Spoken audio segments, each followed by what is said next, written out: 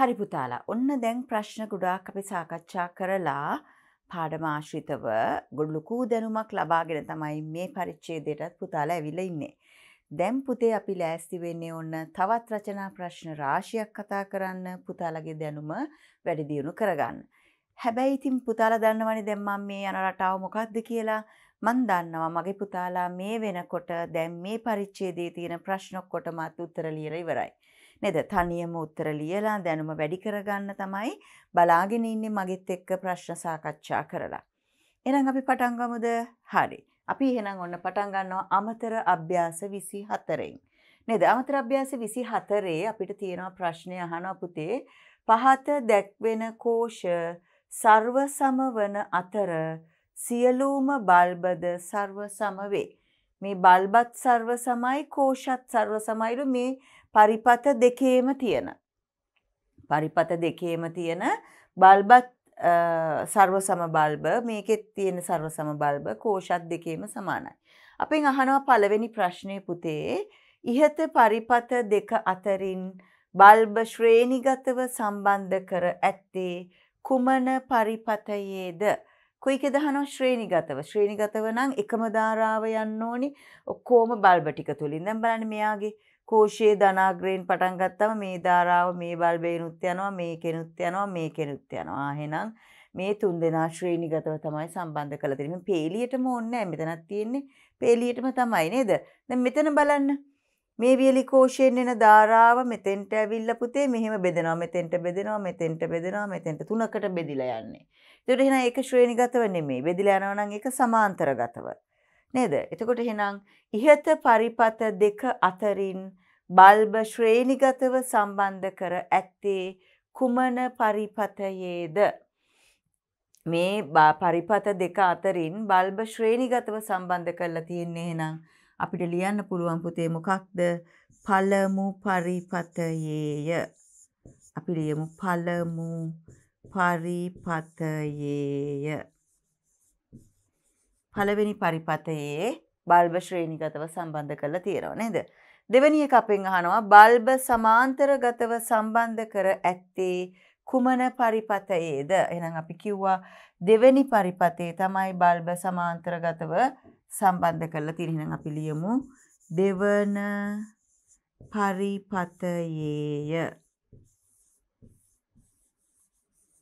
කොයිකද පුතේ දෙවැනි පරිපතයේ තමයි මේ විදිහට සමාන්තරගතව සම්බන්ධ කරලා තියෙන්නේ. අංක තුන අපෙන් අහනවා ඉහත පරිපත දෙකට තවත් සර්වසම බල්බ එක බැගින් සම්බන්ධ කළහොත් ඒවායේ දීප්තිය ගැන කුමක් කිව හැකිද? දැන් මේ ශ්‍රේණිගතව සම්බන්ධ කරලා තියෙන එකටත් තව බල්බ එකක් හයි කරනවලු සමාන්තරගතව සම්බන්ධ කරලා තියෙන එකටත් තව බල්බ එකක් හයි කරනවලු පුතේ. එතකොට මොකද වෙන්නේ? එතකොට මොකද වෙන්නේ? කියන්නේ දැන් මෙයාටත් හයි කරනවා එක බල්බ එකක් අපි නිකන් මෙහෙම නිකන් දාමු මෙතනින් ආ ඔන්න ඔතනින් එක බල්බ එකක්. මෙයාටත් දානවලු තව බල්බ එකක් මෙන්න මෙතනින්. ওই විදිහට දානවා කියලා තමයි කියන්නේ. දැන් අහනවා අපෙන් බල්බවල දීප්තිය ගැන කුමක් කිව හැකිද? මොකද වෙන්නේ? ශ්‍රේණිගතව සම්බන්ධ කරන බල්බ ප්‍රමාණය වැඩි වෙන්න වැඩි වෙන්න පරිපතයේ ප්‍රතිරෝධය වැඩි වෙනවා. එකම ධාරාවනි ගලාගෙන යන්නේ මේ බල්බ ඔක්කොම තුලින් නේද පුතේද පරිපතේ ප්‍රතිරෝධය වැඩි වෙනකොට මොකද වෙන්නේ? දීප්තිය ගොඩාක් අඩු වෙනවා මේ බල්බවල. නේද? දීප්තිය ගොඩක් අඩු වෙනවා. මේකෙදී එහෙම නෙමෙයි. මේකෙදි බෙදිලා යන්නේ ඔක්කොම ටික නේද? බෙදිලා යන්නේ. ඉතින් ඒ නිසා සමාන්තරගතව සම්බන්ධ කරලා තියෙන. ඒ නිසා මේ පරිපතය පළමු දීප්තියෙන්ම දැල් වෙනවා. සමස්ත දීප්තිය එක හා සමානයි. එනම් පළමු දීප්තියෙන්ම මේක දල්ව ගන්න අපිට පුළුවන් නේද? එහෙනම් අපිට ලියා අහන්නේ මොකක්ද? ඉහත පරිපත දෙකට තවත් සර්වසම බල්බ එක බැගින් සම්බන්ධ කළහොත් ඒවායේ දීප්තිය ගැන කුමක් කිව හැකිද? එතකොට අපි ලියමු පළමු පරිපතයේ පළමු පරිපතයේ දීප්තිය ඉතා අඩුවේ. පළමු පරිපතයේ දීප්තිය ඉතා අඩුවේ. නේද? බල්බවල දීප්තිය ඉතා අඩුවේ. පළමු පරිපතයේ බල්බවල දීප්තිය ඉතා අඩුවේ.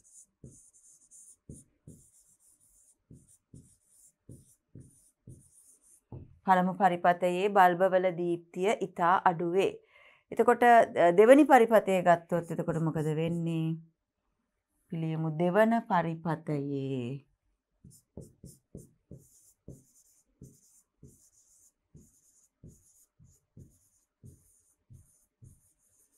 දෙවන පරිපතයේ බල්බවල දීප්තියෙහි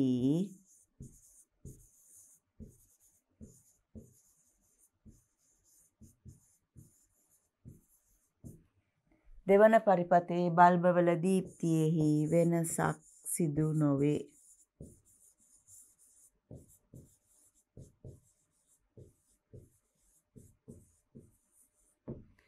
හරි. පළමු පරිපතේ බල්බවල දීප්තිය ඉතා අඩු වෙනවා. දෙවන පරිපතේ බල්බවල දීප්තියෙහි වෙනසක් සිදුවෙන්නේ නෑ. නේද? එහෙනම් ඔන්න බල්බ වැඩි කරාම පරිපත දෙකේ සිදුවන වෙනස අපිට ওই විදිහට ලියන්න පුළුවන්. පැහැදිලි නේද පුතාලට?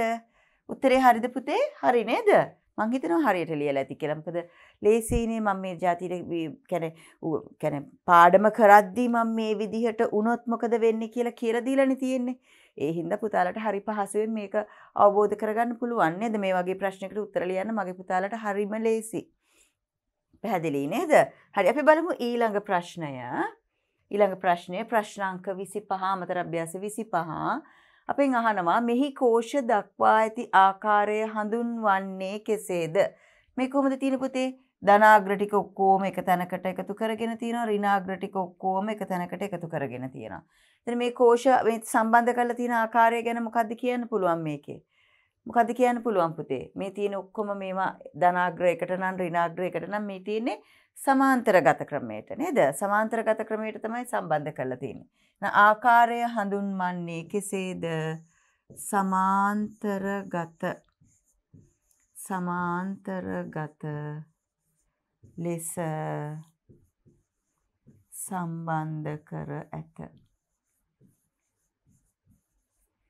සම්බන්ධ කර ඇත සමාන්තරගත ලෙස සම්බන්ධ කර ඇත දෙවැනි එක මෙහි බල්බ සවිකර ඇති ආකාරය හඳුන්වන්නේ කෙසේද?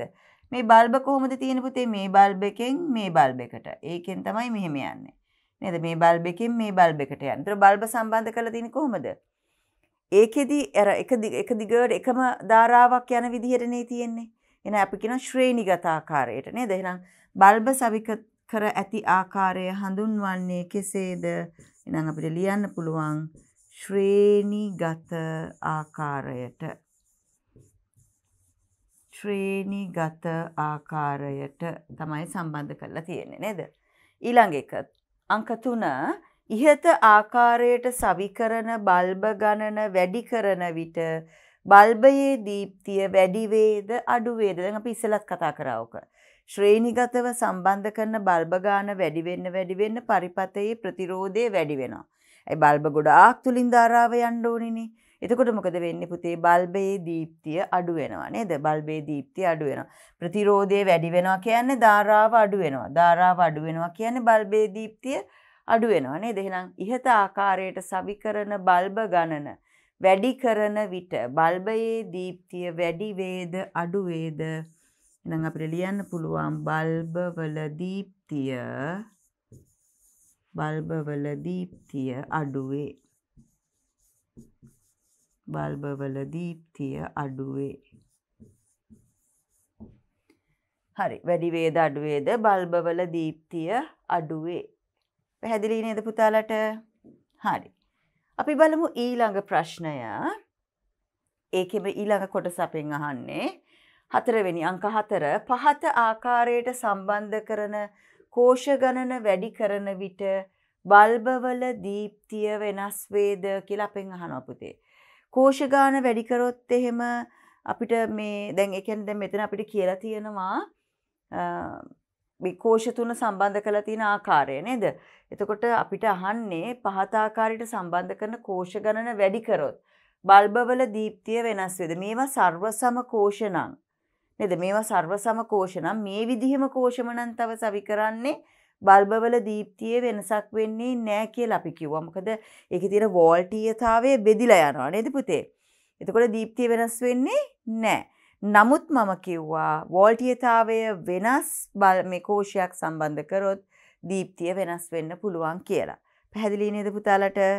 මතකයි නේද පුතේ? එහෙනම් මේ වෝල්ටීයතාවට සමාන කෝෂ කොච්චර සම්බන්ධ කළත් බල්බවල දීප්තියේ වෙනසක් නෑ නේද? එහෙනම් අහන්නේ බල්බවල දීප්තිය වෙනස් වේද කියලා දැන් උගලන්ට සාමාන්‍යයෙන් දෙන්නේ පුතේ ਸਰව සම කෝෂ තමයි සම්බන්ධ කරනවා කියලා දෙන්නේ. එහෙනම් අපි ලියමු අපි ලියමු සර්ව සමකෝෂ සර්ව සමකෝෂ සම්බන්ධ කරේ නම්. සර්ව සමකෝෂ සම්බන්ධ කළේ නම්. සර්ව සමකෝෂ සම්බන්ධ කළේ නම්. බල්බවල දීප්තිය වෙනස් නොවේ.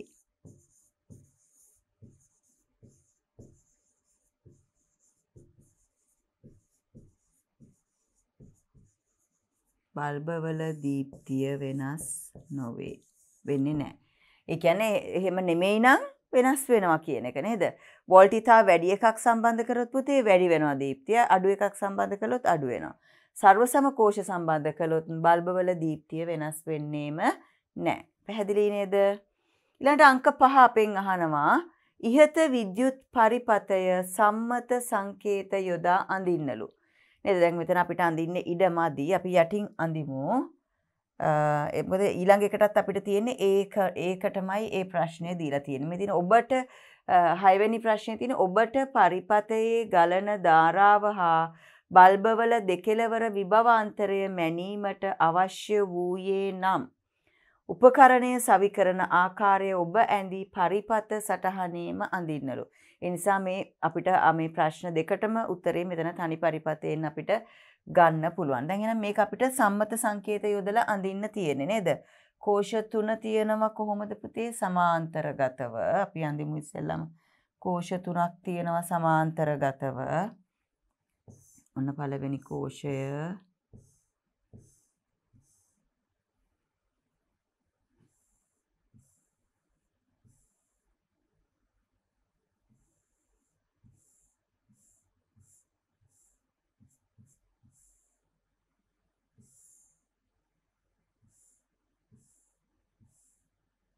ඔන්න තියෙනවා දෙවැනි කෝෂය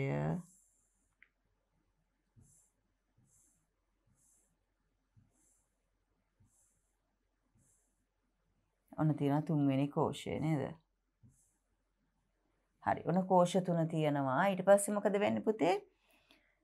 ඊළඟට අපිට තියෙනවා බල්බ දෙකයි හරි. මෙතන තියෙනවා බල්බ දෙකයි ප්‍රතිරෝධකයක් තියෙනවා නේ. හරි.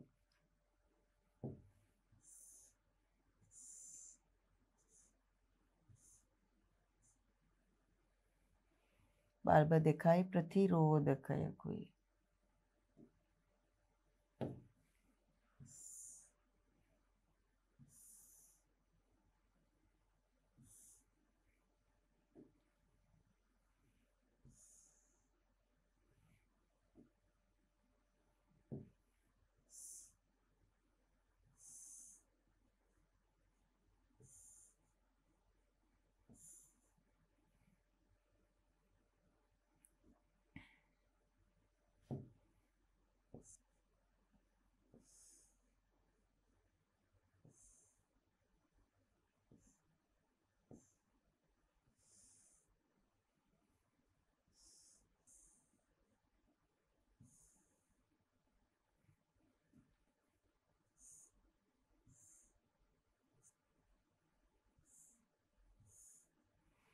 හරි ඔන්න විදිහට තමයි අපිට අඳින්න තියෙන්නේ. පැහැදිලි නේද පුතාලා?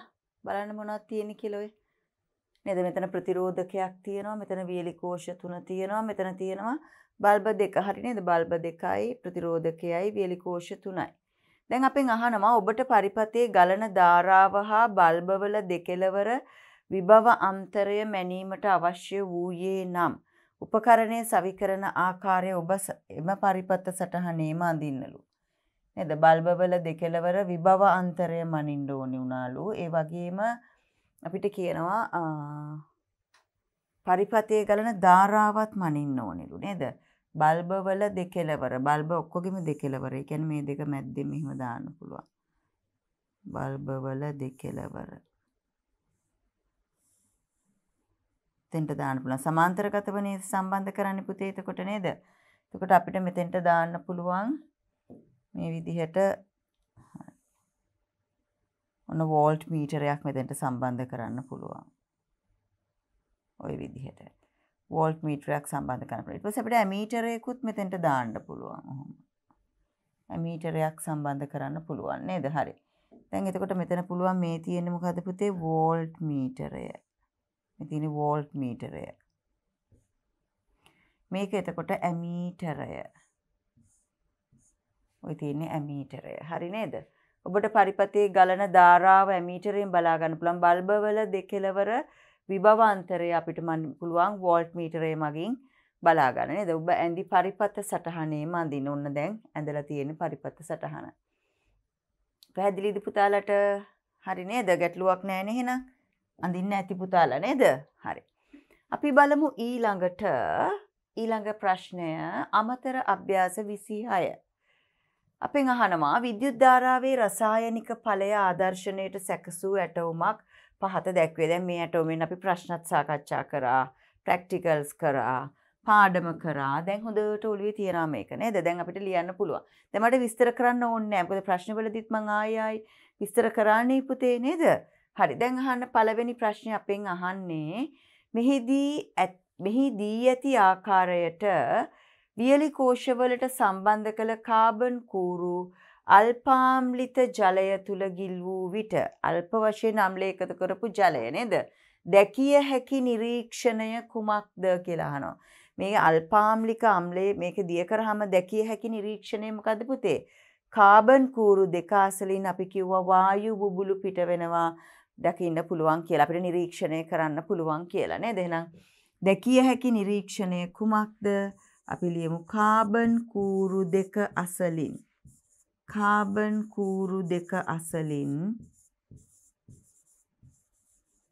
කාබන් කූරු දෙක අසලින් වායු බුබුලු කාබන් කූරු දෙක අසලින් වායු බුබුලු පිටවනු දැකිය හැකිය.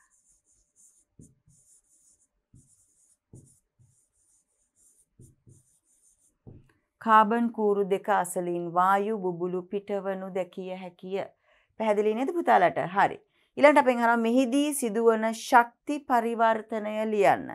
නේද? මොකද්ද පුත් දැන් මේ මෙහිමයි විභාග ප්‍රශ්න පත්‍රවල ගත්තම දැන් එකම ප්‍රශ්නේ තමයි පුතේ විවිධාකාරයෙන් තියෙන්නේ. ඔයගලන්ට ඉස්සෙල්ලත් මේ විදිහටම තිබුණානේ නේද? එකම ප්‍රශ්නය විවිධාකාරයෙන් මේ විභාග ප්‍රශ්න පත්‍රවලදී යොදා ගන්නවා. ඒතර අපි ප්‍රශ්න පත්‍ර කීපයකින් ගත්තම එකම විදිහට වෙනස් පොඩ්ඩක් වෙනස් විදිහට තමයි ප්‍රශ්න හදන්නේ. ඉතින් ඒ හින්දා මේ වගේ ප්‍රශ්න කරලා තිබුණම පුතාලට විභාග ප්‍රශ්න පත්‍රයකම හරිම පහසුයි. ඇයි හැම විදිහකින්ම උත්තර ලියලානේ තියෙන්නේ. නේද? දැන් මේ වගේ ප්‍රශ්න කීයකට ඔයගොල්ලෝ උත්තර ලිව්වද? නේද? ඒතර හරිම ලේසි ලියන්න ඕගොල්ලන්ගේ ප්‍රශ්න පත්‍රයකදී තනියෙන් පුතාලා උත්තර ලියනකොට දැන් මේ උත්තර ලියලා හුරුවෙන් හොඳට ලියා ගන්න පුළුවන්. මොකද ශක්ති පරිවර්තනය? අපි කිව්වේ පුතේ මෙතනින් විද්‍යුත් ශක්තිය ලබලා දෙනකොට ඒක රසායනික ශක්තිය බවට පත් වෙන. එහෙනම් ශක්ති පරිවර්තනය අපි ලියනවා. විද්‍යුත් ශක්තිය. විද්‍යුත් ශක්තිය පත් වෙනවා. මොන ශක්තිය බවටද? රසායනික ශක්තිය බවට පත් වෙනවා. මොන ශක්තිය බවටද පුතේ? රසායනික ශක්තිය. විද්‍යුත් ශක්තිය රසායනික ශක්තිය බවට පත්වෙනවා. පැහැදිලිද? හරි. ඔන්න එහෙනම් අමතර අභ්‍යාස 26 නේද?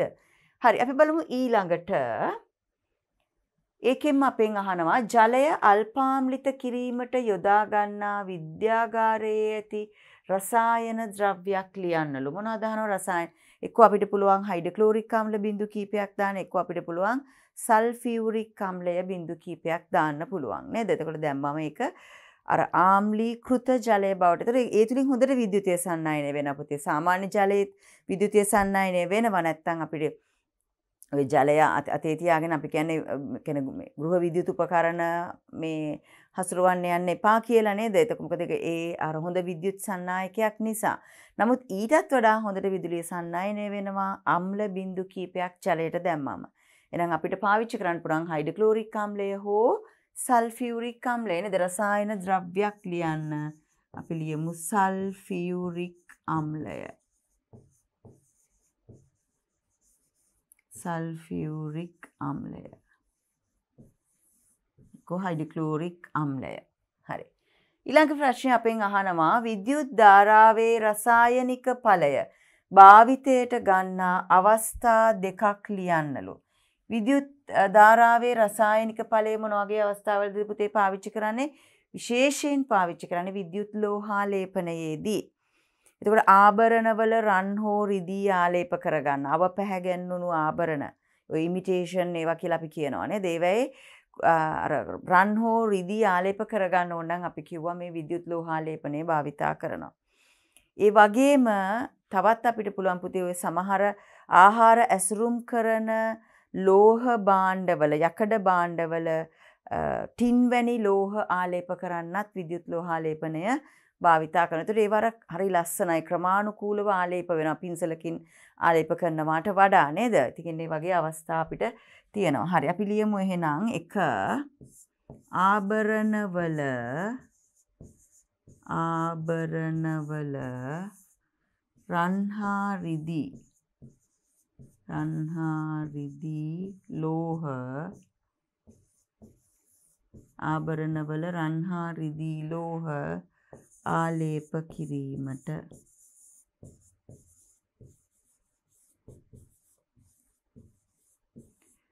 ආභරණවල රන්හා රිදී ලෝහ ආලේප කිරීමට.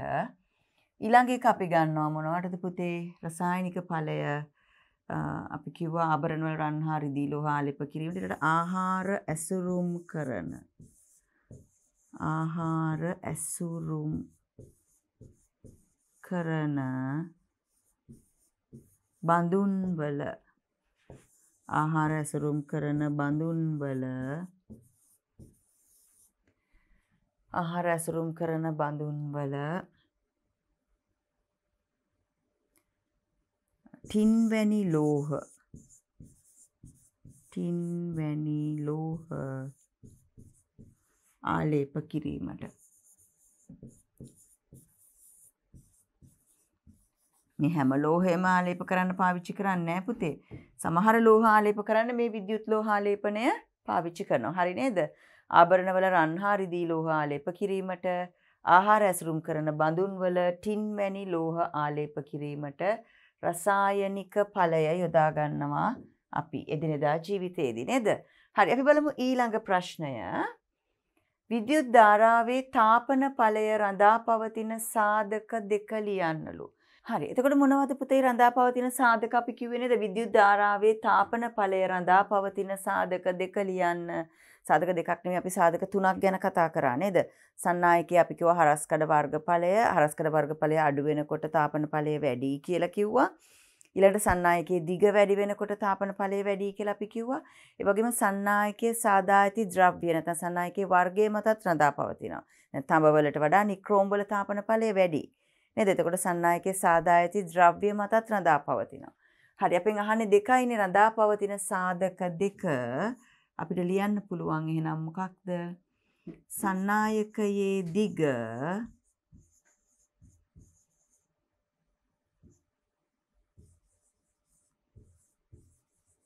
සන්නායකයේ දිග එවැගේම සන්නායකයේ හරස් කඩ වර්ගඵලය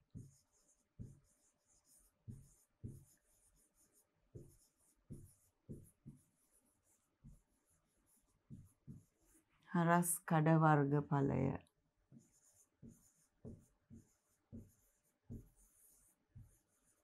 සන්නායකයේ දිග හා සන්නායකයේ හරස් කඩ වර්ගඵලය මත රඳා පවතිනවා. ඊළඟ එක අපෙන් අහන තාපන ඵලය ප්‍රයෝජනයට ගන්නා විද්‍යුත් උපකරණ දෙකක් ලියන්න මොනවද පුතේ ඕන තරම් තියෙනවා අපි ගෙදරදී. විදුලි ස්ට්‍රික්කය, ගිල්ලුම් තාපකය, විදුලි කේතලය, විදුලි පෝරණුව, විදුලි උඳුන නේද? ඔය ඕනම එකක තියෙන තාපන ඵලය. තවත් ඒවා තියෙනවා නේද? තව ගොඩක් ඒවා අපි කතා කරා. ප්‍රයෝජනට ගන්න අපි විද්‍යුත් උපකරණ දෙකක් අපෙන් අහන්නේ නම් එක අපි ලියමු ගිල්වුම් තාපකය නැත්නම් ගිල්ලුම් තාපකය කිව්වත් හරි. ගිල්ලුම් තාපකය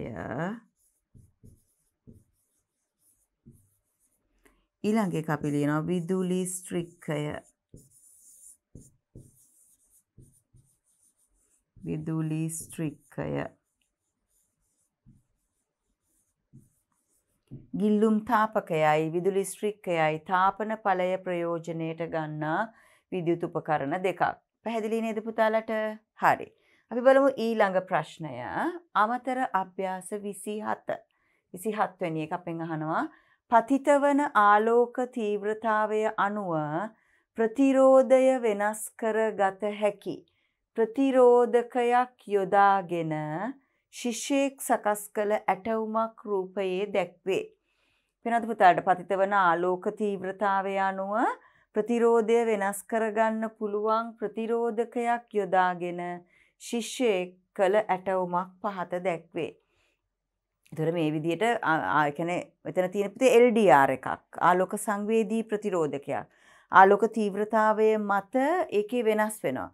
ආලෝක තීව්‍රතාවය වැඩි වෙන්න වැඩි වෙන්න ප්‍රතිරෝධය අඩුයි. එතකොට ධාරාව ගලාගෙන යන ධාරාව වැඩි. ආලෝක තීව්‍රතාවය අඩු වෙන්න අඩු වෙන්න ප්‍රතිරෝධය වැඩි ධාරාව අඩුයි. නේද? එතකොට මේ විදිහට තමයි මේ පරිපතය සකස් කරලා තියෙන්නේ. දැන් අපෙන් එතකොට දී ඇති සංකේත වලින් දැක්වෙන උපාංග හඳුනාගෙන නම් කරන්නලු. මොකක්ද අහනවා? A කියන්නේ මොකද පුතේ? බල්බ් එක. බල්බය. B කියන්නේ LDR එක. ආලෝක සංවේදී ප්‍රතිරෝධකය. C කියන්නේ ඇමීටරය. D කියන්නේ වියලි කෝෂ. E කියන්නේ ස්විචය. හරි නේද? මෙතන ලියමුද අපි මෙතනම? හරි අපි ලියමු එහෙනම් A කියලා කියන්නේ මොකක්ද එතකොට? බල්බය. ඒ කියන්නේ බල්බය. B කියලා කියන්නේ එතකොට ආලෝක සංවේදී ප්‍රතිරෝධකය. ආලෝක සංවේදී ප්‍රතිරෝධකය. ඒතර C කියන්නේ මොකක්ද? C කියන්නේ ඇමීටරය. මීටරය. D කියලා කියන්නේ මොකද්ද පුතේ එතකොට වියලි කෝෂ. වියලි කෝෂ. E කියලා කියන්නේ මොකක්ද එතකොට ස්වීචය. හරි. බල්බය ආලෝක සංවේදී ප්‍රතිරෝධකය B C ඇමීටරය D වියලි කෝෂ E ස්විචය. හරි නේද පුතාලා? හරි. දෙවැනි ප්‍රශ්නය අපෙන් අහනවා ආලෝක ප්‍රභවයකින් බී මතට ආලෝකය පතිත කර පරිපතය සංවෘත කළ විට බල්බය දැල්වේද නොදැල්වේද කියලා අපෙන් අහනවා. ආලෝක ප්‍රභවයකින් බී මතට ආලෝකය පතිත කරනවා පුතේ. පුළුවන් අපිට ටෝච් එකක් කියන්නේ විදුලි පන්දමකින් පුළුවන් නේද? එතකොට පරිපතය සංවෘත කරනවා. මෙතන ස්විච් එකක් ඔන් කරනවා. ආලෝකයක් එවනවා මෙතෙන්ට. ඒතර බල්බය දැල් වෙනවද නැද්ද කියලා අහනවා. දැල් වෙනවද නැද්ද පුතේ? බල්බය දැල් වෙනවා. ඇයි ප්‍රතිරෝධය අඩු වෙනවා එතකොට නේද? අඩු වෙලා ධාරාව වැඩි වෙනවා. එතකොට මොකද වෙන්නේ? බල්බය දැල් වෙනවා. පැහැදිලිද පුතාලට බල්බය දල්ව ගන්න පුළුවන්. හරි නේද? බල්බය දැල්වේ. ඔන්න අමතර අභ්‍යාස 27. හරි. අපි බලමු ඊළඟ ප්‍රශ්නය. ඔන්න ඊළඟ ප්‍රශ්නය. මම හිතනවා පුතාලගේ මේ ටික නම් හරි නේද? මොකද ඔක්කොම හොඳටම දන්න දේවල් නේ එතන තිබුණේ නේද? අපි බලමු ඊළඟ ප්‍රශ්නේ පුතේ ඔන 27ේම ඉතුරු කොටස. පතිත වන ආලෝක තීව්‍රතාවය වැඩි කරන විට බල්බයේ දීප්තියෙහි සිදුවන වෙනස කුමක්ද? ආලෝක තීව්‍රතාවය වැඩි කරන්න වැඩි කරන්න මොකද වෙන්නේ පුතේ? දීප්තිය තවත් වැඩි වෙනවා. ඇයි? ආලෝක තීව්‍රතාවය වැඩි කරන්න වැඩි කරන්න ප්‍රතිරෝධය අඩු වෙනවා. අඩු වෙනකොට ධාරාව වැඩිපුර ගමන් කරනවා නේද? එතකොට නම් පතිත වන ආලෝක තීව්‍රතාවය වැඩි කරන විට බල්බයේ දීප්තියෙහි සිදුවන වෙනස කුමක්ද? ඒතර මට ලියන්න පුළුවන් පුතේ බල්බයේ දීප්තිය. බල්බයේ දීප්තිය ක්‍රමයෙන් වැඩිවේ ක්‍රමයෙන් වැඩිවේ බල්බේ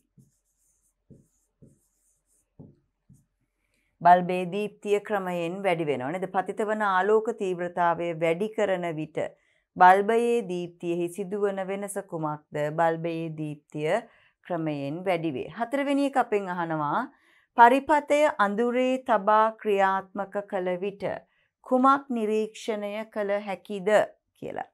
පරිපතය අඳුරේ තියලා ක්‍රියාත්මක කළොත් නේද? මේක අපි මේකේ බීවලට බී වහ ගන්නවා ඉන්න දෙන්න ඇති වෙන්න. නේද? ඒතර පරිපතේ අඳුරේ තබා ක්‍රියාත්මක කළොත් කුමක් නිරීක්ෂණය කළ හැකිද? මොකද වෙන්නේ පුතේ? එතකොට කියන්නේ අඳුර වැටෙනකොට ආලෝකය වැටෙන්නේ නැති වෙනකොට ප්‍රතිරෝධය ගොඩාක් වැඩි වෙනවා. ගොඩාක් වැඩි වෙලා මොකද වෙන්නේ? ධාරාව අඩු වෙනවා. එතකොට මොකද වෙන්නේ? බල්බය නිවෙනවා. නේද? බල්බය නිවෙනවා. එහෙනම් කුමක් නිරීක්ෂණය කළ හැකිද? අපිට ලියන්න පුළුවන් බල්බය නිවේ. බල්බය නිවේ. ඊළඟ එක අවශ්‍ය අගයකින් යුක්තව ප්‍රතිරෝධය වෙනස් කර ගැනීමට බී වෙනුවට භාවිතා කළ හැකි විද්‍යාගාරයේ ඇති උපකරණය කුමක්ද කියලා අහනවා. අවශ්‍ය අගයකට වෙනස් කරන්න අපිට ඕනේ නම් බීවල පුළුවන් බීවන් වෙනුවට පාවිච්චි කරන්න පුළුවන් අපිට ධාරා නියාමකය. මම පුතාලට පෙන්වුවා හරි ලස්සනටනේ දර සර්පණේ හා මෙහා කරනකොට ප්‍රතිරෝධය වැඩි වෙනවා අඩු වෙනවා බල්බේ දීප්තිය වෙනස් වෙනවා පුතාලා නිරීක්ෂණය කරා. හරි එහෙනම් විද්‍යාගාරයේ ඇති උපකරණය කුමක්ද? අපිට ලියන්න පුළුවන් පුතේ ධාරා නියාමකය. ධාරා නියාමකය. හරි. පැහැදිලි නේද එහෙනම්? හරි. එහෙනම් මේ ප්‍රශ්නේ හරි කොටස් ටිකට උන් උත්තර ලිව්වා නේද? අපි බලමු පුතාලා එහෙනම් ඊළඟ ප්‍රශ්නය. මොකද්ද? ස්ථිර ප්‍රතිරෝධක යනු මොනවාද? නේද දැන් එතන අපේ ඒ මෙතන මේ ප්‍රශ්නවලම ඊළඟ කොටස අංක 5 අපි ලිව්වේ අංක 6 ස්ථිර ප්‍රතිරෝධකයක් කියන්නේ මොකක්ද කියලා අහන මොනවද පුතේ? ඒ කියන්නේ ප්‍රතිරෝධය වෙනස් කළ නොහැකි උපාංග අපි හඳුන්වනවා ප්‍රතිරෝධක හඳුන්වනවා ස්ථිර ප්‍රතිරෝධක. ඒතර මේක පරිපතයකට සම්බන්ධ කළ විට ධාරාව නියත අගයක තමයි පවතින්නේ. ධාරාව වෙනස් කරන්න බෑ. අපිට අවශ්‍ය ඒ ප්‍රතිරෝධකයෙන් වෙනස් වෙනවා. අයි නැවත වෙනස් කරන්න බෑ. නේ දෙනම් අපි ලියමු ස්ථිර ප්‍රතිරෝධක යනු මොනවාද? ප්‍රතිරෝධය වෙනස් කළ නොහැකි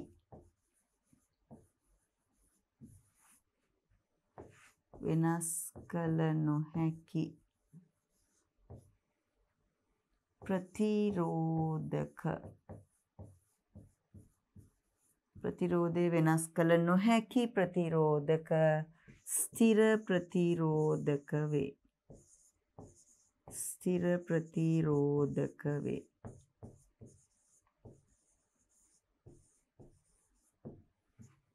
මේවා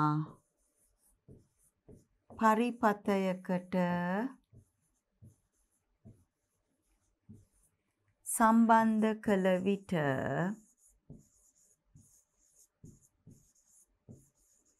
මේවා පරිපතයකට සම්බන්ධ කළ විට ධාරාව කළ විට ලැබෙන ධාරාව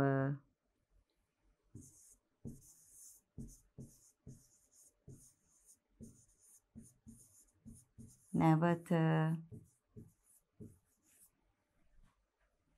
අවශ්‍ය පරිදි වෙනස් කළ නොහැක. නැවත අවශ්‍ය පරිදි වෙනස් කළ නොහැක.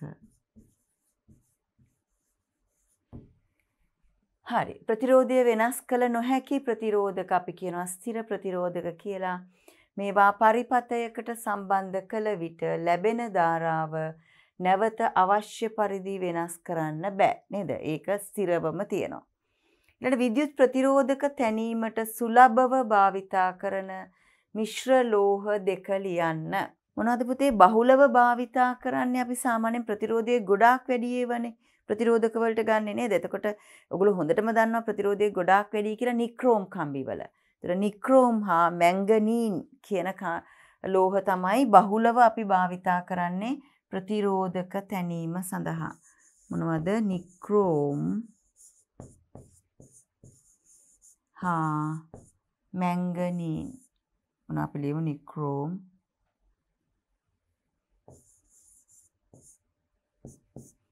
දෙක මැංගනීන්.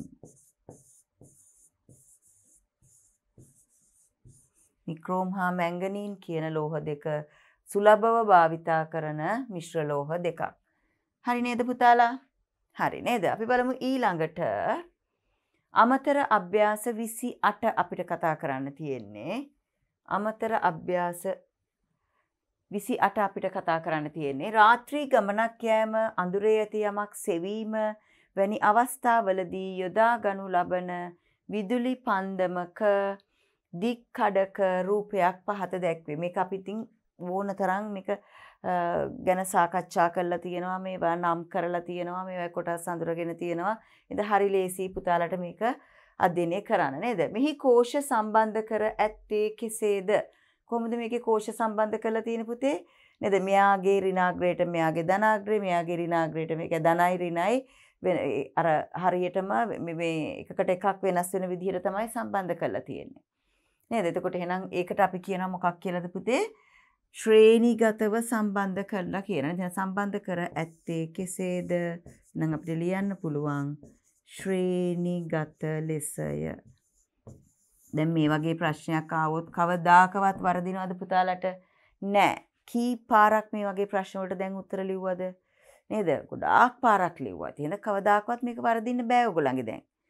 නේද පුතේ? මොකද එච්චරට උත්තර ලියලා නේ තියෙන්නේ. හරි නේද? හරි දෙවෙනි කොටස අපෙන් අහනවා මෙම උපකරණය තුල ඇති වැදගත් කොටස් සම්බන්ධ කිරීමට අදාළව පරිපත සටහන අඳින්න. ඔකත් අපි ඇඳලා තියෙන්නේ දැන්. හරි ලේසි. අපිට අඳින්න පුළුවන් පරිපත සටහන. මෙන්න තියෙනවා වියලි කෝෂ දෙක, මෙන්න සම්බන්ධක කම්බි, මෙතන ස්විච් එක, මෙතන තියෙනවා බල්බය ආපහු මේ විදිහට වියලි කෝෂ තුලට එන්න තියෙන්නේ නේද? හරි නේද? හරි අපි අඳිමු එහෙනම් ඒකත්.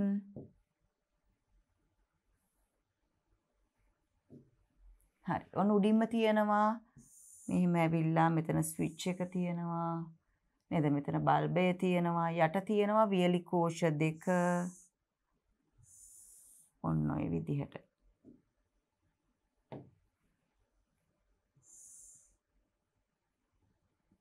මෙතන තියෙනවා බල්බය.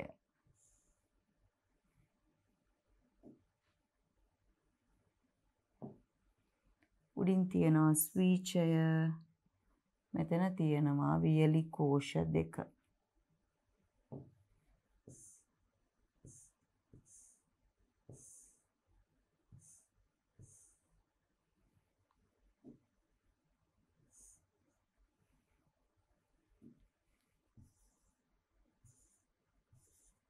හරි ඔය විදිහට තමයි තියෙන්නේ. මෙතන බල්බ් එක අඳින්න ඕනේ අපි. හරි.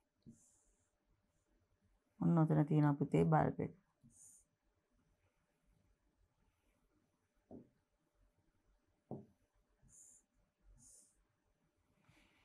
හරි දැන් මේ තියන්නේ අපේ විදුලි පන්දමේ පරිපත සටහන නේද? ඔච්චරයි. මෙම උපකරණය තුල ඇති වැදගත් කොටස් සම්බන්ධ කිරීමට අදාළව පරිපත සටහන අඳින්න. අපිට ඒතර අනිත් දේවල් අවශ්‍ය වෙන්නේ නැහැ. අපිට අවශ්‍ය වෙන්නේ මේ වැද ඕනම කොටස් ටික විතරයි. හරිම ලේසි සරල පරිපතයක් නේද පුතේ? හරි නේද ඇන්ද දැන් කී පාරයක්ද අපි ඇන්දනේ. ඉතින් වර්ධින විදියක් නැහැ. අපි බලමු ඊළඟ ප්‍රශ්නය. මෙම විදුලි පන්දම කෝෂ තුනක් යොදන එකක් වූයේ නම් තුන්වන කෝෂය සම්බන්ධ කරන අයුරු පමණක් රූපසටහනකින් දක්වන පරිපතේ ඉතුරු කොටස් ටික ඕනේ නැහැ. තුන්වන කෝෂය සම්බන්ධ කරන අයුරු පමණක් රූප සටහනකින් දක්වන්නලු නේද? එතකොට අපිට තුන්වන කෝෂය කොහොමද සම්බන්ධ කරන්න කියලා විතරයි ඕනේ. එතකොට ශ්‍රේණිගතවමනේ. එතකොට ධනාග්‍රයට ඔන්න ඍණාග්‍රය සම්බන්ධ කරා. ආයි ධනාග්‍රයට ඔන්න ඍණාග්‍රය සම්බන්ධ කරා ඊළඟ කෝෂයේ. ආයි ඊළඟ එකේ ධනාග්‍රයට ආයි ත්‍රිනාග්‍රය සම්බන්ධ කරා. කොහොම තමයි සම්බන්ධ කරන්නේ. කියනව නේද? ඔන්න ඔය වගේ. එතකොට අපිට මේ විදිහට ඔන්න හොම තමයි සම්බන්ධ අපිට අහන්නේ පරිපත කෝෂය සම්බන්ධ කරන අයුරු විතරයි. ඒතර මේ විදිහට තමයි කෝෂය සම්බන්ධ කරන්නේ. පරිපත්ත මේ මේ රූප සටහනකින් දක්වන්නේ කියලා. ඒතර අපිට ඊටු පරිපතේම අඳින්න අවශ්‍ය වෙන්නේ නෑ. ශ්‍රේණිගතව සම්බන්ධ කරන ආකාරය විතරයි අඳින්නේ. හරි. ඊට පස්සේ අපි බලමු ඊළඟට ඔන්න තියෙන අමතර අභ්‍යාස 29 පුතාලට දීලා තියෙනවා. පහත සඳහන් කාර්යයන් සඳහා යොදා ගන්නා උපකරණ වගුවේ සඳහන් කරන්නලු. නේද පුතේ මේ කාර්යයන් වලට ගන්න උපකරණ මොනවද කියලා තමයි අපෙන් අහන්නේ. බලමු පුතාලා දන්නේ ඒවා තමයි ඇත්තේ නේද? නොදන්නේ ඒවා එහෙම හම්බුණාද? නෑනේ නේද? බලමු මොනවද කියලා. සමහර වෙලාවට පාඩමට අදාළ නැතුව පුතාලට මේ ගැන මේ ශ්‍රේණියේදී මේ වයසට දැනගන්න ඕන දේවලුත් සමහර ප්‍රශ්නවලදී අහනවා ඒක විභාගෙට ඉලක්ක කරගෙන නෙවෙයි පුතාලගේ දැනුම වැඩි කරගන්න තමයි ඒ වගේ ප්‍රශ්න අහන්නේ. අපි බලමු එහෙනම් මෙතන මොනවද අහලා තියෙන්නේ කියලා. කාර්යය යොදා ගන්නා උපකරණය. නේද? ඒතකොට ආලෝකකරණය සඳහා මොනවද යොදාගන්නේ පුතේ? මොකද ආලෝකකරණය ආලෝකකරණය සඳහා අපිට යොදා ගන්න පුළුවන් මොනවද? විදුලි බල්බ නේද? ආලෝකකරණය සඳහා අපි යොදා ගන්නවා මොනවද? විදුලි බල්බ. විවිධාකාර විදුලි බල්බ නේද? පාවිච්චි කරනවා මේ සඳහා. විදුලි බල්බ. විද්‍යුත් පරිපතයක් දෙවැනි එක අපෙන් අහන්නේ. විද්‍යුත් පරිපතයක් තුලින් අවශ්‍ය අවස්ථාවලදී විද්‍යුත් ධාරාව යැවීමටත් අවශ්‍ය අවස්ථාවලදී විද්‍යුත් ධාරාව නතර කරන්නත්. ආ වෙනස් කරන්න නෙමෙයි එක්කෝ යවන්න එක්කෝ නතර කරන්න. මොකද පාවිච්චි කරන්නේ පුතේ? ස්විච් එකක් පාවිච්චි කරනවා නේද? මොකද පාවිච්චි කරන්නේ? ස්විචය. ස්විචය පාවිච්චි කරනවා. ස්විචය. තේරෙනවද පුතාලට නේද? පරිපතයක් තුලින් අවශ්‍ය අවස්ථාවලදී විද්‍යුත් ධාරාව යැවීමටත් අවශ්‍ය අවස්ථාවලදී විද්‍යුත් ධාරාව නතර කරන්නත් අපි පාවිච්චි කරනවා මොකක්ද?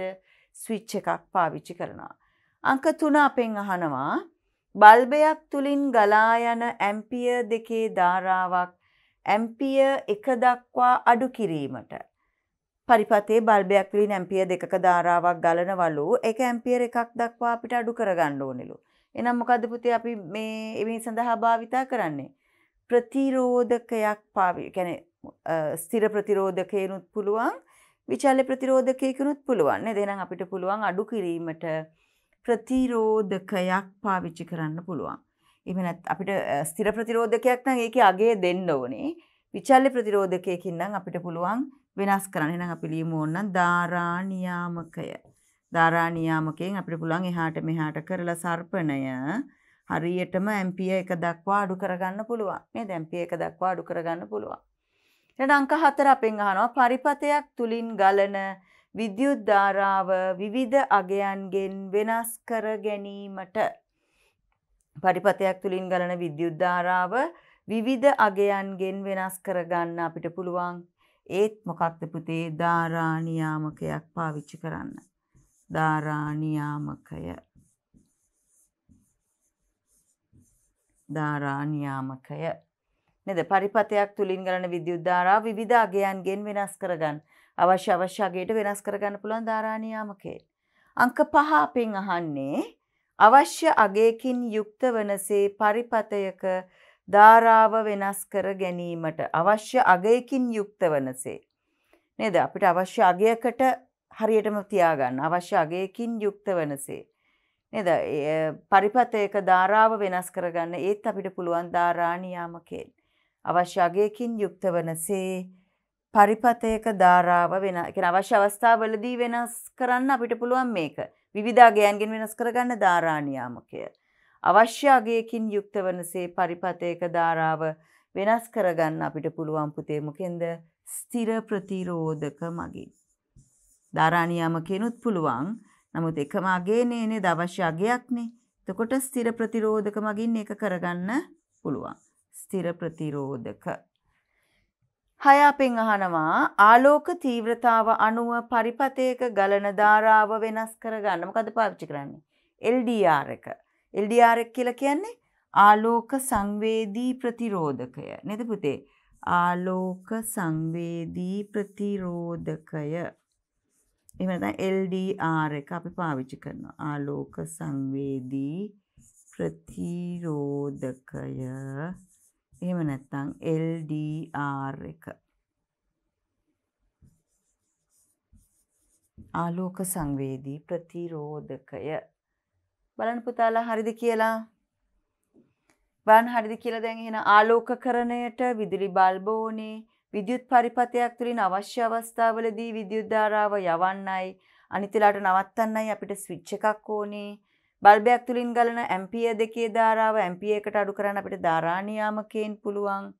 පරිපථයක් තුළින් ගලන විද්‍යුත් ධාරාව විවිධ අගයන්ගෙන් වෙනස් කරගන්නත් ධාරා නියාමකයෙන් අපිට පුළුවන්. ඊළඟ අවශ්‍ය අගයකින් යුක්ත වනසේ පරිපථයක ධාරාව වෙනස් කරගන්න ස්ථිර ප්‍රතිරෝධකයකට අපිට පුළුවන්. ඒ වගේම කියන්නේ හරියටම අවශ්‍ය අගයක් තියෙනවා. ඒතකොට ඒකට මේ පුළුවන් දාගන්න. ආලෝක තීව්‍රතාව අනුව පරිපථයක ගලන ධාරාව වෙනස් කරගන්න ආලෝක සංවේදී ප්‍රතිරෝධකයක් ඕනේ. මේකට පුතේ අපි ධාරා නියාමකයයි ඒ වගේම ස්ථිර ප්‍රතිරෝධකයකුනුත් පුළුවන්. අපි ඒකත් දාමු. මොකද සමහර දුල පුතාලා එහෙමත් උත්තරේ ලියලා ඇති නේද? ඉතින් එහෙනම් අපි මේකට ස්ථිර ප්‍රතිරෝධකයක් පුළුවන්. ස්ථිර ප්‍රතිරෝධකය එකෙන් අපිට හරියටම ඇම්පිය එකේ තියාගෙනම ඉන්න පුළුවන් නේද? හරි. පැහැදිලි නේද පුතාලට? එහෙනම් ගැටලුවක් නැහැනේ. හරිනේ නේද? අපි බලමු ඊළඟ ප්‍රශ්නය. ප්‍රශ්න අංක 30 අපෙන් අහනවා විදුලි උවාරණ භාවිතයේදී සැලකිලිමත් විය යුතු කරුණු ලෙස සටහන් පොතක සටහන් වූ සඳහන් වූ කරුණු මෙසේ විය. විදුලි වාරණ භාවිතා කරනකොට අපි කිව්වා සැලකිලිමත් වෙන්න ඕනේ කරුණු ගැන. අපි කිව්වා කාර්යක්ෂමතාවය ගැන, අවශ්‍යතාවය ගැන, ඊළඟට පාවිච්චි කරන එක්කෙනාටයි අන් අයටයි අනතුරු නොවන විදිහට විදුලි පරිපථයට උපාංගවලට අනතුරු නොවන විදිහට තමයි පාවිච්චි කරන්න ඕනේ කියලා. දැන් මෙතන තියෙන පොතක ලියපු සටහන් ටිකක් තියෙනවලු. එතකොට අපෙන් අහනවා පළවෙනි එක පොතක් කියවීමේදී මේස ලාම්පුවක් භාවිතය. හරිනේ අර ලොකු වොට් ගානක ලයිට් එකක් අපිට ඕනේ ටේබල් ලෑම්ප් එකක තියෙන චූටි වොට් පහක විතර බල්බ් එකකින් අපිට හොඳට කියව ගන්න පුළුවන්. ඇහැට අමාරුවකුත් නැහැ. B අපෙන් අහනවා ආලෝකකරණය සඳහා සූත්‍රිකා පහන් වෙනුවට සංග්‍රෝහිත ප්‍රතිදීපන පහන් CFL හෝ වොට් 11 LED බල්බයක් පාවිච්චි කරන එක. බොහෝම හොඳයි නේද මං ඕක හොත් සවිස්තර කරලා විස්තර කරා පුතේ. සවිස්තරාත්මක විස්තරයක් කරා. කාර්යක්ෂමතාවය ගොඩක් වැඩි කිව්වා. එතකොට විද්‍යුත් ශක්තිය ප්‍රමාණය අඩුයි කිව්වා. නේද විද්‍යුත් ශක්තිය ප්‍රමාණය අඩු වෙනකොට අපේ යුනිට් ගාන අඩු වෙනවා. එතකොට අපේ විදුලි බිල අඩු වෙනවා. ඔය ටික මම විස්තර කරා. එහෙනම් ඒකත් හරියටම හරි. ඊළඟට පේනු කෙවෙනි වලට සම්බන්ධ කිරීමේදී නිවැරදි පිළිවෙත් අනුගමනය කිරීම. ඒකත් හරි. අර මල්ටිප්ලග් එකකට වගේ අර තාපයේ නිපදවන උපකරණ කීපයක් සම්බන්ධ කරොත් මොකද වෙන්නේ? අර අධිධාරා විදුලියක් එනවා කිව්වනේ. ඒ කියන්නේ අර ඕවර්ලෝඩ් වෙනවා කිව්වා. අධිහරණයක් සිදු වෙලා ඒක සම්පූර්ණ පිච්චිලා උපකරණ වලටත් හානි වෙන්න පුළුවන්. ඒතර එහෙනම් එහෙම කරන්නත් හොඳ නෑ. නිවැරදි පිළිවෙත් අනුගමනය කරන්න ඕනේ පේනු කෙවෙනි වලට සම්බන්ධ කරනකොට අඩු විදුලියක් එන ඒවා එකකට එකකට සම්බන්ධ කරන්න පුළුවන් මං රූපවාහිනිය ගුවන් විදුලිය ඒ වගේම පුළුවන් පරිගණකය නමුත් අර තාපය නිපදවන උපකරණ වගේ හිම සම්බන්ධ කරන්න බෑ පුතේ නේද ගෘහ විද්‍යුත් පරිපතයට හා උවාරණවලට හානි නොවනසේ භාවිතා කිරීම ඒකත් මං කිව්වා ඒවට හානි වුණොත් ඉතින් අපි භාවිතා කරන එකේ තේරුමක් නැහැ. ද හරියට දැනගෙන ඕනේ ඒවා පාවිච්චි කරන්න නේද? ඉහත ඒ සිට ඩී දක්වා පියවර අනුගමනය කිරීම වාසිදායක වන්නේ කෙසේද කියලා අහනවා. ඇයි අහනවා මේ වගේවා වාසිදායක වෙන්නේ කොහොමද කියලා අහනවා. එතකොට මෙතන අපිට කියන්න පුළුවන් මේ එක දෙක පියවර වලින් මොකද වෙන්නේ පුතේ වැය වෙන විද්‍යුත් ශක්තිය ප්‍රමාණය අඩුයි නේද? එහෙනම් අපිට ලියන්න පුළුවන් මෙහෙම ලියමු අපි. A හා B පියවරවලදී නේද? A හා B පියවරවලදී වැයවන වැයවන විද්‍යුත් ශක්ති ප්‍රමාණය වැයවන විද්‍යුත් ශක්ති ප්‍රමාණය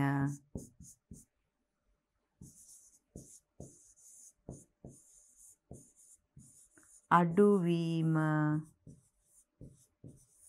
අඩුවීමක් සිදුවේ. ඒ හා B පියවරවලදී වැයවන විද්‍යුත් ශක්ති ප්‍රමාණය අඩුවීමක් වෙනවා නේද? ඒක එතකොට වාසි වෙනවා අපිට නේද? වැයවන විද්‍යුත් ශක්ති ප්‍රමාණය අඩුවීමක් සිදුවේ. හරි. එතකොට දෙවැනි එක කොහොමද ලියන්නේ? පේනු කෙවෙනි වලට සම්බන්ධ කිරීමේදී නිවැරදි පිළිවෙත් අනුගමනය කිරීම. එතකොට මොකද වෙන්නේ පුතේ? මෙතෙන්දිත් පේනු කෙවෙනි වලට සම්බන්ධ කිරීමේදී නිවැරදි පිළිවෙත් අනුගමනය කරේ නැත්නම් ඒත් පරිපතයට හෝ ගෘහ විද්‍යුතු උවා කියන්නේ උවාරණවලට මේ දෙකේදීම නේද මේ දෙකේදීම උවාරණවලටයි පරිපතයටයි සිදුවන හානි වලකිනවා නේද? එහෙනම් අපිට ලියන්න පුළුවන්.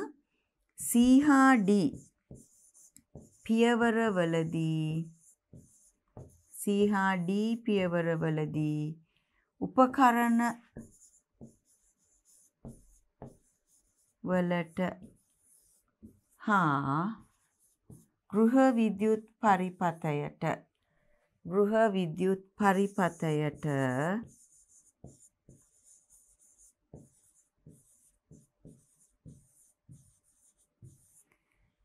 උපකරණවලට හා ගෘහ විද්‍යුත් පරිපතයට සිදුවන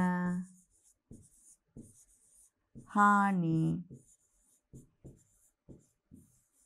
වැලකීම හරි නේද? එතකොට වාසිදායක වෙන්නේ කොහොමද? A හා B පියවරවලදී වැයවන විද්‍යුත් ශක්ති ප්‍රමාණය අඩුවීමක් වෙනවා.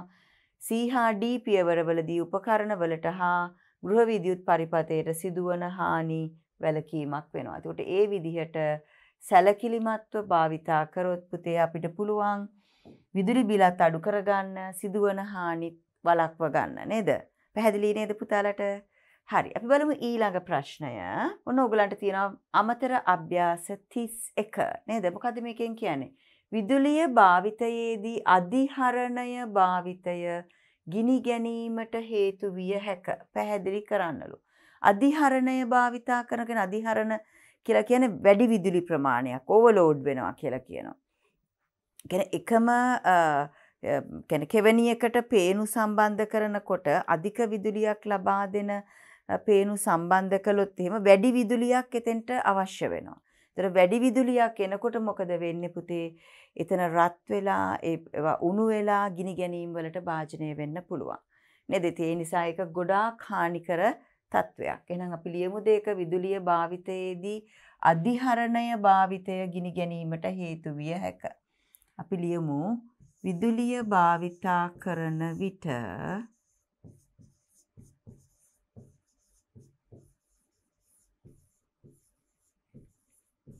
කරන විට අධික විදුලියක් වැයවන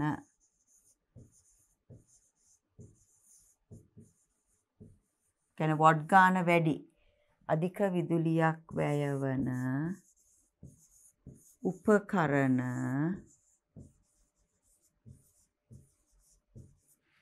අධික විදුලියක් වැයවන උපකරණ එහෙම නැත්නම් අපි කියනවා පුතේ වැඩි ක්ෂමතාවයක් ඇති උපකරණ. වැඩි ක්ෂමතාවයක් ඇති උපකරණ.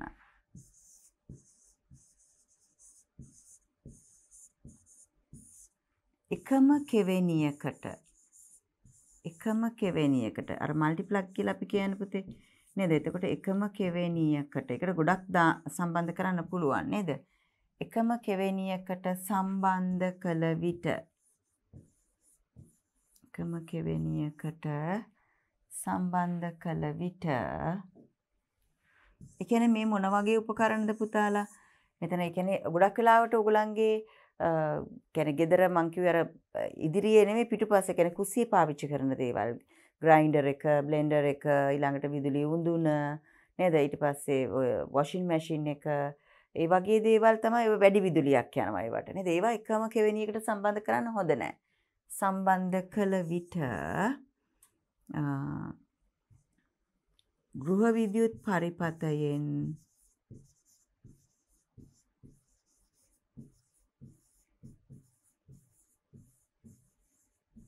අධික ධාරාවක් අධික ධාරාවක් ලබා ගනි. එවිට රැහැන් රත් වී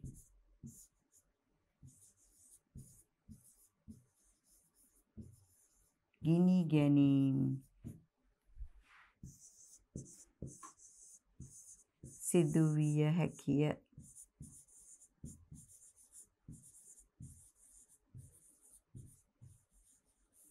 එවිට රැහැන් රත් වෙලා ගිනි ගන්න පුළුවන්.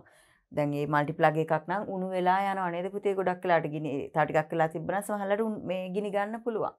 හරි නේද බලන්න විදුලිය භාවිතා කරන විට අධික විදුලියක් වැය වෙන උපකරණ, ඒ කියන්නේ වැඩි ක්ෂමතාවයක් ඇති උපකරණ එකම කෙවෙනියකට සම්බන්ධ කළ විට ගෘහ විද්‍යුත් පරිපථයෙන් අධික ධාරාවක් ලබා ගනී. එවිට රැහැන් රත් වී ගිනි ගැනීම සිදුවිය හැකිය. මෙන්න මේක තමයි අපි කියන්නේ මොකක් කියලාද පුතේ අධිහරණය කියලා කියනවා. අධිහරණය ඕවර්ලෝඩ් වෙනවා කියලා කියන්නේ අන්න ඒකයි. පැහැදිලි නේද? මම මේක දැනුවත් කරලානේ තියෙන පුතාලට නේද? හරි අපි බලමු ඊළඟ ප්‍රශ්නය. අමතර අභ්‍යාස 32 අපි කතා කරන්නේ පරිපතයක් තුලින් ගලා යන ධාරාව සහ විභව අන්තරය මැන ගැනීමට සකස් කළ ඇටවුමක් පහත දැක්වේ. ධාරාවයි විභවන්තරයයි මනින්න මේක තුලින් ගලාගෙන යන අපිට දීලා තියෙනවා ඇටවුමක් නේද? හරි දැන් මෙතන පේනව නේද ඔයගලන්ට මේ විදිහට තියෙන මේ බන කෝෂ දෙක හැබැයි වැරදියට සම්බන්ධ කරලා තියෙන්නේ නේද පුතේ මෙතන කෝෂ දෙක වැරදියට මේ ඍණාග්‍ර දෙක එකට සම්බන්ධ කරලා තියෙනවා ඒක මේ මේ විදිහට මේ කවුරු හරි ශිෂ්‍යයෙක් සකස් කරන්නේ නැති ඒතර වැරදි. අපි බලමුකෝ මොකක්ද අහන්නේ කියලා. ස්විච් එකක් මෙතන තියෙනවා මෙතන බල්බ් එක තියෙනවා වෝල්ට් මීටරේ මෙතන තියෙනවා. නික්‍රෝම් කම්බියට මේ ඒ අග්‍ර දෙක අතර විභවන්තරයෙන් මනින්න දාලා තියෙනවා. මෙතන එතකොට අපෙන් අහන්නේ මෙහි X ලෙස දක්වා ඇති උපකරණය නම් කර එය පරිපතයට සම්බන්ධ කර ඇති ආකාරය ලියන්නලු. එහෙනම් අනිවාර්යෙන්ම මේ විදිහට X විදිහට සම්බන්ධ කරලා තියෙන මොකද්ද පුතේ? මේක ඇමීටරයක්. මේක ඇමීටරයක් වෙන්න ඕනේ නේද? ඒතර උපකරණය නම් කර. එහෙනම් මොකද්ද මේක උපකරණය නම් කරන්න පුළුවන් අපිට? ඇමීටරය. මේ X කියලා කියන්නේ ඇමීටරය. එය සම්බන්ධ පරිපතයට සම්බන්ධ කරලා තියෙන කොහොමද? මේ ධාරාවම ගලාගෙන යන්න මේක තුලින්. එහෙනම් පරිපතයට සම්බන්ධ කරලා තියෙන්නේ මොකක්ද? කොහොමද අපිට ලියන්න පුළුවන් ශ්‍රේණිගත ආකාරයට. ශ්‍රේණිගත ආකාරයට සම්බන්ධ කර ඇත.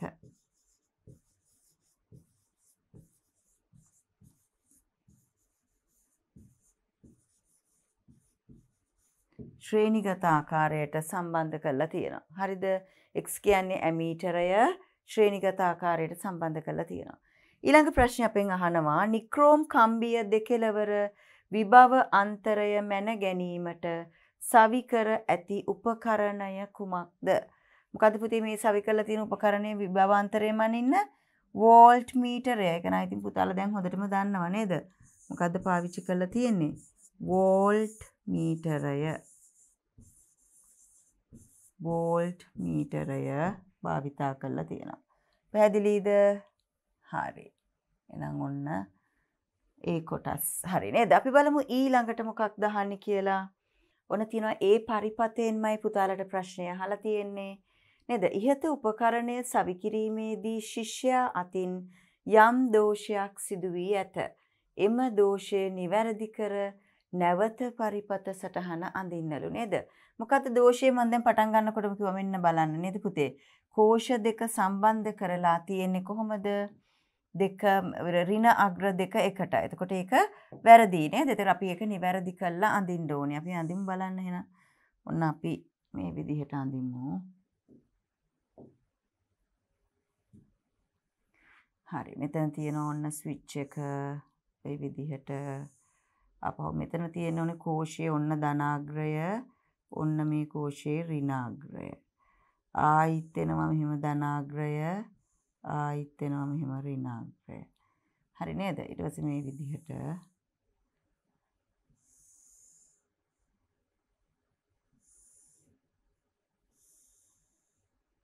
හරි ওই විදිහට තියෙනවා ඔතන ඇමීටරය බල්බය ඊට පස්සේ මෙතන තියෙනවා ඔන්න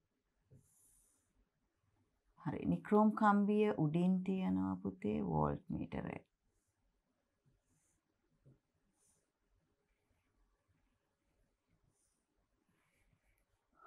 හරි ඔය විදිහටනේ තියෙන්නේ නේද? එතකොට මේක අපිට මෙතන අඳින්න පුළුවන් ඇමීටරයයි පුළුවන් වෝල්ට් මීටරයයි. ඊට පස්සේ තව තියෙනවා මෙතන වෝල්ට් මීටරය.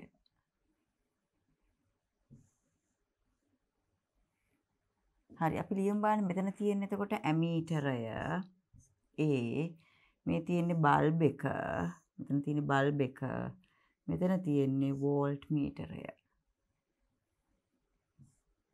මෙතන තියෙන්නේ වෝල්ට් මීටරය. හරි නේද පුතාලා? දැන් හරිනේ දැන් ඔන්න කෝෂ දෙකත් හරියට හදලා තියෙන්නේ ස්විච් එක. හරි මෙතන තියෙනවා ස්විච් එක. ඒ විදිහට ස්විච් එක තියෙනවා ඇමීටරය බල්බය වෝල්ට් මීටරය සමාන්තරගතව සම්බන්ධ කරලා තියෙනවා. ඔන්න නිවැරදි පරිපත සටහන අපි දැන් ඇඳලා තියෙන්නේ.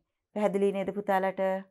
හරි ඊළඟ එක අංක 4 මෙහි නික්‍රෝම් කම්බිය ඉවත් කොට ඒ වෙනුවට තඹකම්බියක් තබා පරිපතය ක්‍රියාත්මක කළහොත් බල්බයේ දීප්තියෙහි සිදුවන වෙනස කුමක් දානවා නික්‍රෝම් කම්බිය අයින් කරනවා අයින් කළා මේකට දානකොට තඹ කම්බියක් පුතේ මෙතන තියෙන නික්‍රෝම් කම්බියනේ ඒක අයින් කළා තඹ කම්බියක් දැම්මොත් බල්බයේ දීප්තියට මොකද වෙන්නේ කියලා අහනවා නික්‍රෝම් වල ප්‍රතිරෝධය ගොඩක් වැඩි පුතාලා දන්නවා නේද? කියන්නේ අපිට ප්‍රතිරෝධය බලපාන සාධක කීපයක් තියෙනවානේ.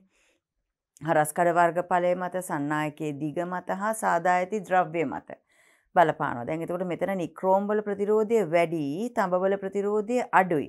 ඒතර ප්‍රතිරෝධය වැඩි වෙනකොට ධාරාව අඩුයි, ප්‍රතිරෝධය අඩු වෙනකොට ධාරාව වැඩි. දැන් එහෙනම් නික්‍රෝම් කම්බිය අයින් කළා තඹ දැම්මා කියලා කියන්නේ ප්‍රතිරෝධය අඩුයි. ඒ කියන්නේ ධාරාව වැඩි. නේද? ධාරාව වැඩි. එහෙනම් බල්බේ දීප්තිය මොකද වෙන්නේ පුතේ? වැඩි වෙනවා නේද? ඩික්‍රෝම් කම්බිය අයින් කළා තඹ කම්බිය දැම්මනම් බල්බේ දීප්තිය වැඩි වෙනවා. බල්බේ දීප්තියෙහි සිදුවන වෙනස කුමක්ද? එහෙනම් අපිට ලියන්න පුළුවන් බල්බයේ දීප්තිය වැඩි වේ. බල්බයේ දීප්තිය වැඩි වේ. බල්බේ දීප්තිය වැඩි වෙනවා. පැහැදිලි නේද පුතාලට? හරි. ඔන්න බල්බේ දීප්තිය වැඩි වෙලා තියෙන්නේ. ඊළඟට අපි බලමු ඊළඟ ප්‍රශ්නය සන්නායකයක ප්‍රතිරෝධය රඳා පවතින සාධක තුනක් ලියන්නලු. මේ ප්‍රතිරෝධය රඳා පවතින සාධක තුන දැන් අපි කතා කරා. සන්නායකයේ දිග, සන්නායකයේ හරස්කඩ වර්ගඵලය, සන්නායකයේ සාදා ඇති ද්‍රව්‍ය මත රඳා පවතිනවා. නේද පුතේ? එහෙනම් අපි ලියමු රඳා පවතින සාධක තුනක්. සන්නායකයේ දිග දැන් මේවා නම් ඉතින් ආයි කවදාකවත් වරද්දන්න බෑ මොකද එච්චරට අපි දැන් ප්‍රශ්න වලට උත්තර ලිව්වා හොඳේ සන්නායකයේ දිග කටපාඩමෙන් ලියන්න පුළුවන් නේද? දෙක සන්නායකයේ හරස්කඩ වර්ගඵලය.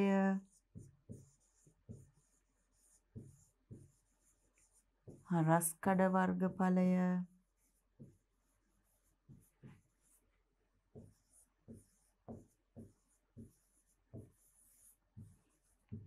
සන්නායකයේ දිග සන්නායකයේ හරස්කඩ වර්ගඵලය. සන්නායකය සාදා ඇති ද්‍රව්‍ය නැත්නම් සන්නායක වර්ගය අනුව නේද?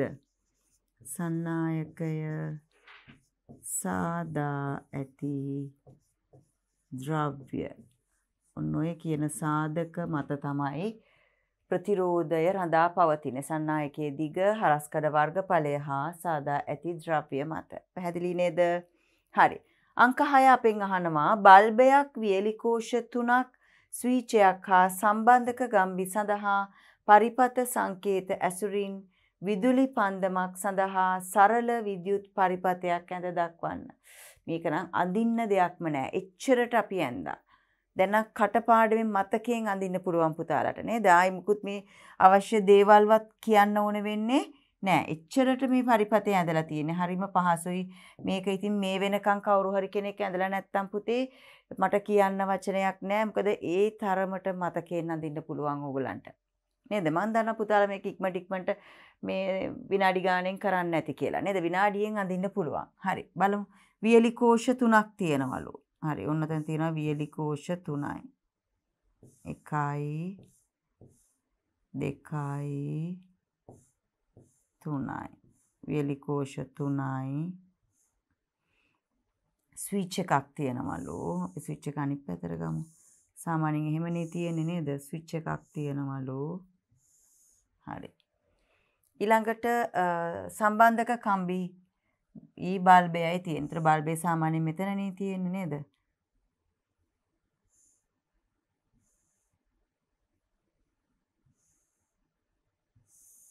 ඔන්න ඔය විදිහට. හරි නේද බලන්න පුතාලා? නේද මෙතන ඔන්න තියෙනවා ස්විච් එක. මෙතන තියෙනවා බල්බ් එක.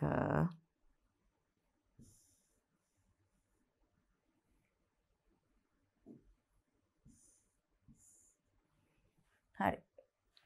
බල්බයයි වියලි කෝෂ තුනයි ස්විච් එකකුයි සම්බන්ධක කම්බි පරිපත සංකේත ඇසුරින් ඔන්න විදුලි පන්දමක් සඳහා සරල විද්‍යුත් පරිපතය තමයි පුතාලා ඇඳලා තියෙන්නේ. ඉතින් මේවා හරිම ලේසි කීප වාරයක් අපි කතා කරලා තියෙන නිසා, බලලා තියෙන නිසා, දැකලා තියෙන නිසා නේද? හරීම පහසුවෙන් අඳින්න පුළුවන්. හරි. අපි බලමු ඊළඟ ප්‍රශ්නය. ඔන්න අමතර අභ්‍යාස 33 පුතාලට කතා කරන්න තියෙන්නේ. මොකක්ද?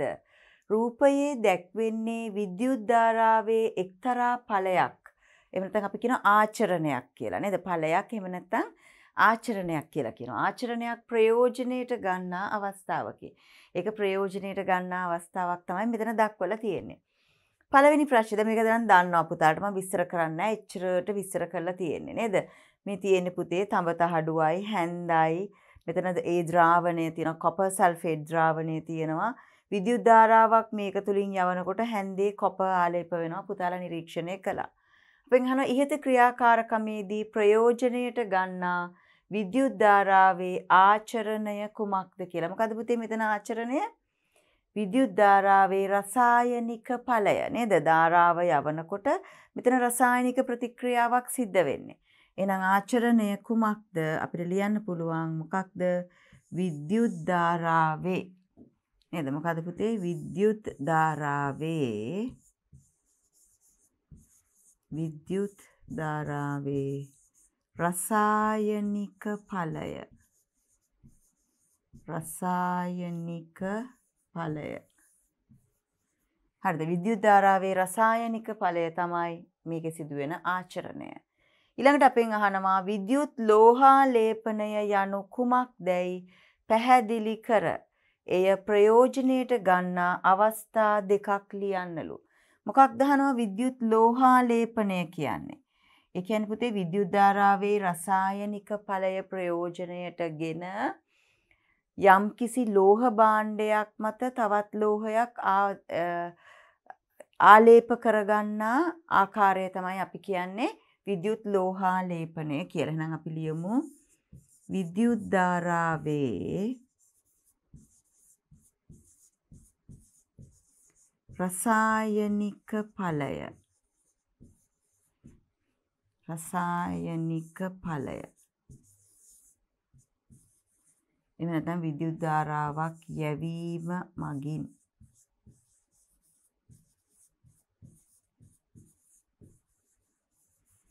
විද්‍යුත් ධාරාවක් යැවීම මගින්.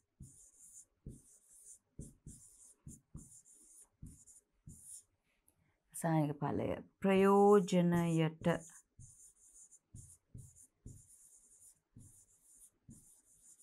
ගෙන යම් ලෝහ භාණ්ඩයක් මත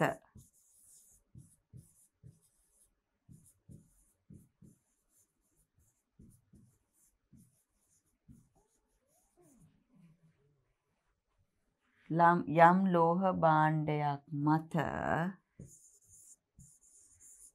තවත් ලෝහයක්.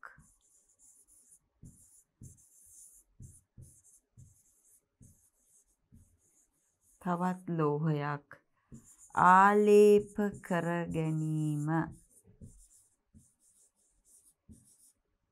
ආලේප කර ගැනීම. විද්‍යුත් ලෝහාලේපනයයි.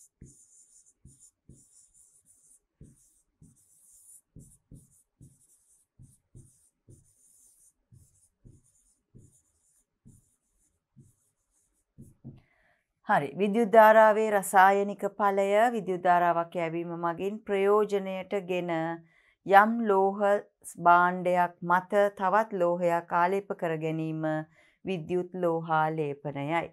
ඒ ප්‍රයෝජනයට ගන්නා අවස්ථා දෙකක් අපි කතා කරාපුතේ මොනවද. අපි කිව්වා ආභරණ මත රන් හෝරිදී ආලේප කිරීම නේද? ඒතර අර ඉමිටේෂන් වගේ ආභරණ වල ආලේප කරන්න පුළුවන් කියලා කිව්වා. ඒ වගේම ආහාර ඇසුරුම් කරන බඳුන් තුල යම් ලෝහයක් ආලේප කරගන්න අපිට පුළුවන් කියලා කිව්වා නේද? එහෙනම් භාවිතා කරන අවස්ථා දැන් අපි ලියමු භාවිත අවස්ථා.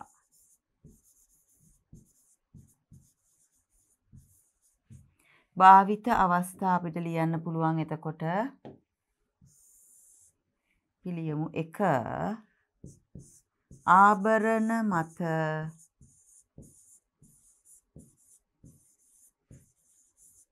රන්හා රිදී ආභරණ මත රන්හා රිදී ආලේප කිරීම.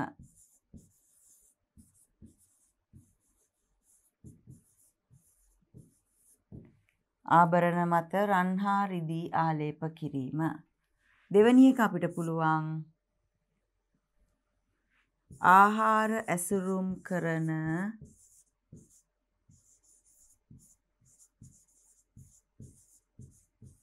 ආහාර ඇසුරුම් කරන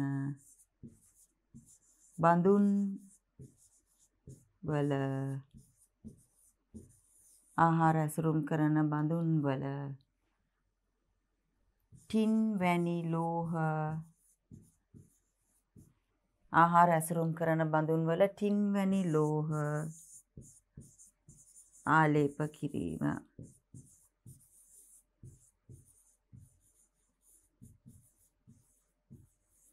ආහාර ඇසුරුම් කරන බඳුන්වල ටින් වැනි ලෝහ ආලේප කරන්න පුළුවන් නේද? ඔන්න එහෙනම් භාවිත අවස්ථා විද්‍යුත් ලෝහාලේපනයේ. පැහැදිලි නේද පුතාලට? හරි. ඊළඟට අපි බලමු ඊළඟ ප්‍රශ්නය. ඒකෙන් අපිට අහනවා මෙම ක්‍රියාකාරකමේදී යොදා ගන්නා ඒ ලෙස දැක්වෙන ද්‍රාවණය කුමක්ද මේ නිල් පාට ද්‍රාවණයක් තඹ තහඩුවනේ. ඒතර මේකේ තියෙන පුතේ කොපර් සල්ෆේට් ද්‍රාවණය නේද?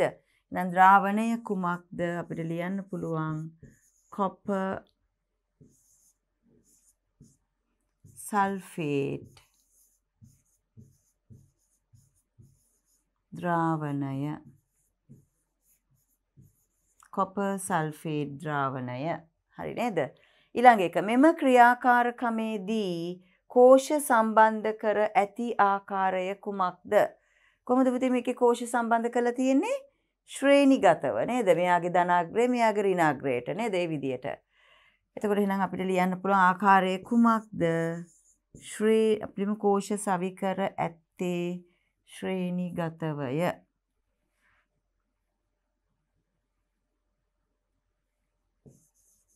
කෝෂ සවිකර ඇත්තේ ශ්‍රේණිගත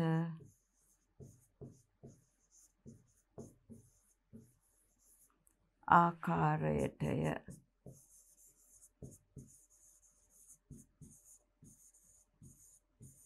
කෝෂ සවිකර ඇත්තේ ශ්‍රේණිගත ආකාරයටය එසේ කෝෂ සවිකර ගැනීමේ වාසිය කුමක් දහනවා පුතේ.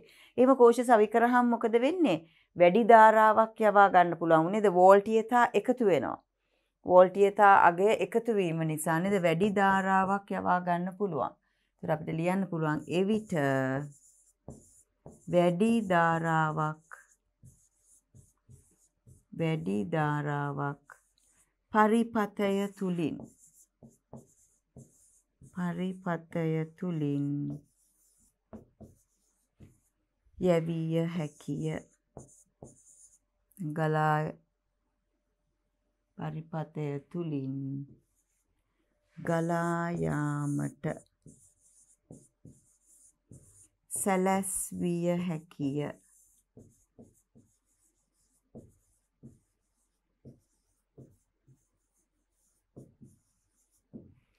එවිට වැඩි ධාරාවක් පරිපතය තුලින් ගලා යාමට සැලැස්විය හැකිය. හරි නේද පුතේ? වැඩි ධාරාවක් පරිපතය තුලින් ගලාගෙන යන්න සලස්වන්න පුළුවන්. ඊළඟ ප්‍රශ්නය එතකොට අපිට කියන්න පුළුවන් වාසි ගලාගෙන යෑමට සැලැස්වුවහම වැඩි ධාරාවක් හේතුව එතනදී වෙන්නේ පුතේ වෝල්ටීයතා එකතු වීම නේද? එහෙනම් අපිට ලියන්න පුළුවන් එවිට කෝෂවල එවිට කෝෂවල වෝල්ටීයතා අගය. වෝල්ටීයතා අගය. අගයන්. එකතු වේ. වෝල්ටීයතා අගයන් එකතු වේ.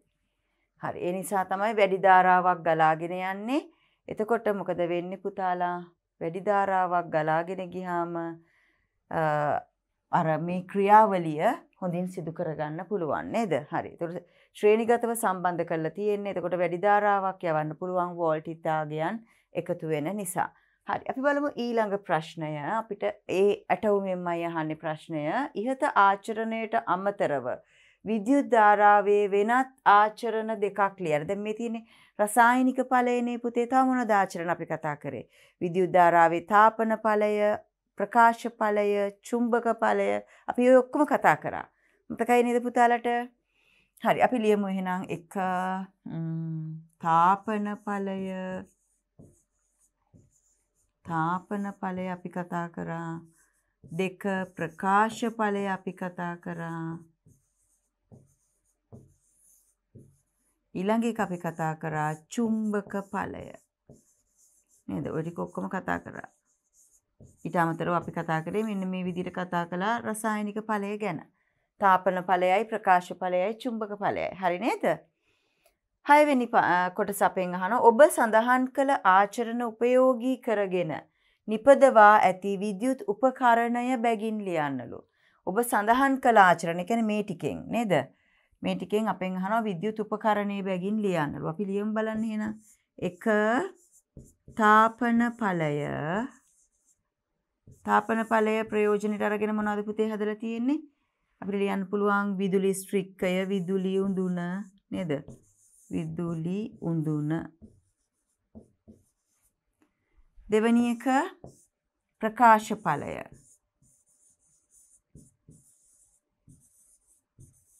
ප්‍රකාශ ඵලයේ ප්‍රයෝජනෙට අරන් මොනවද හදලා තියෙන්නේ? විදුලි බල්බය. විදුලි බල්බය. ප්‍රකාශ ඵලයේ ප්‍රයෝජනට අරන් හදලා තියෙනවා. විදුලි බල්බය. ඊළඟට චුම්බක ඵලය ප්‍රයෝජනට අරගෙන මොනවද හදලා තියෙන්නේ? චුම්බක ඵලය. විද්‍යුත් උපකරණය බැගින් නේද? චුම්බක ඵලය. දොඹකරය හදලා තියෙනවා. දොඹකරය. හරි ඔය වගේ අපි කතා කරා. මේකේ ගොඩක් නේද? අපිට විදුලි පංකාව හදලා තියෙනවා කූවා නේද? ඒ වගේ මෝටරය තියෙනවාද? ඒ වගේ විවිධ උපකරණ තියෙනවා නේද? ඉතින් එතකොට ඒ ඕනම එකක් ලිව්වොත් පුතේ නිවැරදි. හරි. එහෙනම් මොන තාපන ඵලය විදුලි උඳුන, ප්‍රකාශ ඵලය විදුලි බල්බය, චුම්බක ඵලය දොඹකරය. හරි. එහෙනම් ඔන්න පුතාලා දැන් ගොඩාක් ප්‍රශ්න වලට උත්තර ලියලා තියෙන්නේ. ප්‍රශ්න රාශියක් සාකච්ඡා කරා මම හිතනවා මේ පාඩමෙන් ගොඩාක් අභ්‍යාස අපි කතා කරා ඒ නිසා කිසිම ප්‍රශ්නයකට පුතාලට වැරදි පිළිතුරු නැතුව ඇති නිවැරදිව ලියලා ඇති මොකද සරල ආකාරයට පුතාලට පාඩම පහදලා දීලා ප්‍රැක්ටිකල්ස් ඔක්කොම කරලා නේද වීඩියෝස් වලින් තව විස්තර කරලා තියෙන නිසා මං හිතනවා පුතාලට මේක කිසිම අමාරු ප්‍රශ්නයක් මේ අභ්‍යාසවල නොතිබෙන්න ඇති. හැබැයි පුතාලා දැනුම තව වැඩි කරගන්න නම් තව තව ප්‍රශ්න පත්‍ර එකතු කරලා පුතේ ඒ ප්‍රශ්න වලටත් උත්තර ලියන්න. එතකොට පුතාලගේ දැනුම තවත් වැඩි වෙනවා. ඉතින් එතකොට එහෙම ලියනකොටත් ඔයගලන්ට ගැටලුවක් කොහේ හරි තැනක ආවොත් ආයි පාරක් ඒ පාඩමේ ඒ කොටස බලන්න. පුතාලට උත්තර ලියන්න බෑ කියන්නේ වැරදි කියලා හිතනවා නම් නැවත පාඩමේ කොටස බලලා ඒ ගැටලුව විසඳගෙන ආයි නැවත උත්තර ලියන්න. ඔය විදිහට පුතාලගේ දැනුම වැඩි කරගත්තොත් පුතේ පුතාලා මුහුණ දෙන ප්‍රශ්න පත්‍රයකදී පුතාලට සාර්ථකව පිළිතුරු ලියලා සාර්ථකව ලකුණු ලබා ගන්න පුතාලට හැකියාව ලැබෙනවා.